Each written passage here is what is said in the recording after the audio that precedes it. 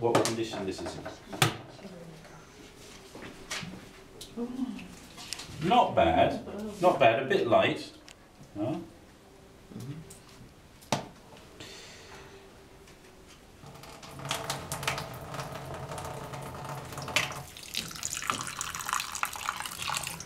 Okay, I'm just washing off the just washing off the the white of the egg. Okay. Do we have a fork? A fork or a knife? You can see the, the egg is now clean, okay, and you can see it's in its sack.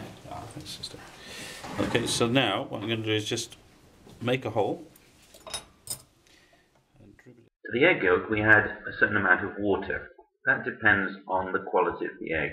If the egg is a good one and the yolk is strong, then you'll need to add more water than if the egg is uh, a weak one, maybe from the supermarket.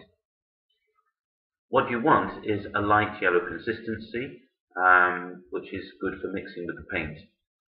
To this we add a certain amount of vodka. Um, other people might use vinegar, others again white wine. This is to preserve the egg so that it doesn't go off so quickly. However, the advantages of using vodka in a small amount is that it helps to break down any grittiness in the pigments, which you find in some of the ochres, for example. It's very strong. Ivory black. Terre verte. Probably It's about. French. It is green mm-hmm. earth. Mm-hmm. And I'm just taking maybe a third of the amount of the green. Okay.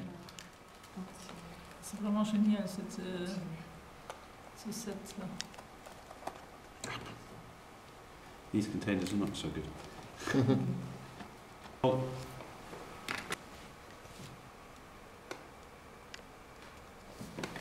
Maybe that's a bit much. But Trois. Oui, En 7. oui. Lui, il met tout. Non you see how that's. Tu sers avec 3, mais je crois qu'il avait 7. Yeah, that's about right. Okay. It's very dark. Yeah. Mhm. Now you see that the consistency of that. It's it's like cream. Okay.